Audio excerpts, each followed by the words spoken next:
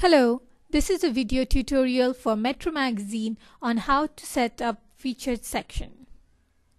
Before you set up the section, make sure you have properly configured your homepage settings. If you haven't already done that, please refer to the respective tutorials or documentation for it. Let's look at the featured section in the demo.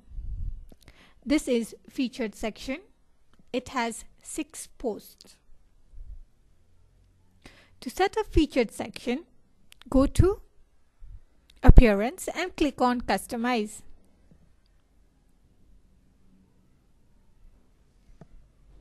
Go to Homepage Settings. Click on Featured Post section.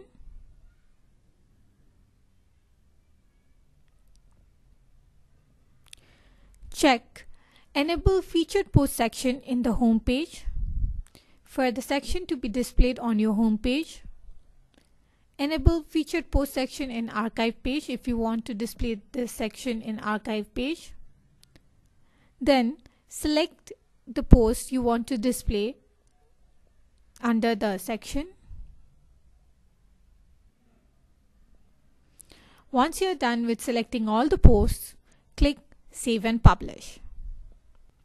This is how you can set your featured post section in Metro Magazine.